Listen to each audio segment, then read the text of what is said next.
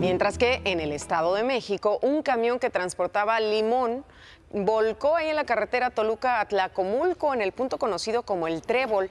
¿Qué hicieron los habitantes? Ayudar, ¿verdad? Seguramente. Pues no. Aprovecharon el momento para hacer rapiña y llevarse todos los limones, como suele suceder en estos casos. Con cubetas llegaron carretillas, bolsas, hasta la ropa les sirvió para llevarse los limones. No les importó que estuvieran los policías ahí y pues a los policías de verdad que se vieron, se veían rebasados en número, en presencia, pues no les quedó otra más que quedarse en brazos cruzados y permitir esta rapiña. El conductor resultó con lesiones leves y dejó abandonada la unidad ahí en este sitio.